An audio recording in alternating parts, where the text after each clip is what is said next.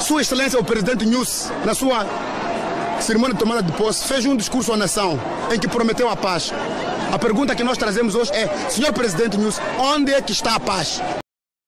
Hoje vamos explorar a trajetória de Manuel de Araújo, uma figura proeminente na política moçambicana.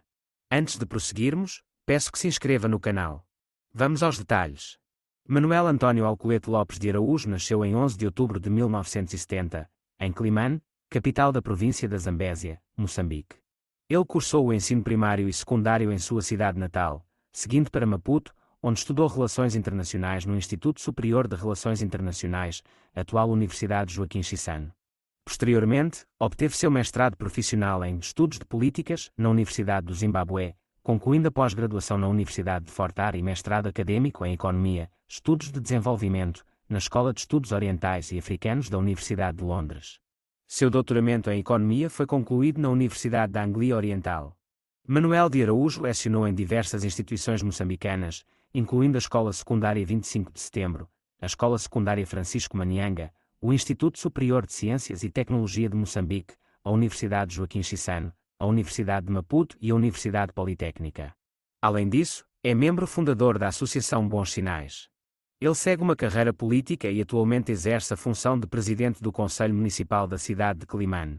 Desde 2011, é o presidente da autarquia de Climane, a quinta maior cidade de Moçambique, com aproximadamente 400.000 habitantes. Sua ampla experiência abrange as áreas da sociedade civil, acadêmica, empresarial e política. Envolve-se ativamente na defesa de questões urbanas e ambientais em âmbito local, nacional, regional e global. A nível internacional, desempenha papéis importantes em instituições como a CGLU, Cidades e Governos Locais Unidos, e ICLEI, Governos Locais pela Sustentabilidade. É membro do Comitê Executivo Global do ICLEI, atuando como co-presidente global da resiliência da organização. Anteriormente, foi deputado, MP e vice-presidente da Comissão de Negócios Estrangeiros no Parlamento moçambicano de 2004 a 2009. Em 2019, foi eleito vice-presidente do Congresso do Conselho Nacional da Associação de Autarcas de Moçambique, ANO. Manuel de Araújo é casado com a Silvia Soares e pai de quatro filhos. Agradeço pela atenção dada e um caloroso abraço. Inscreva-se no canal para não perder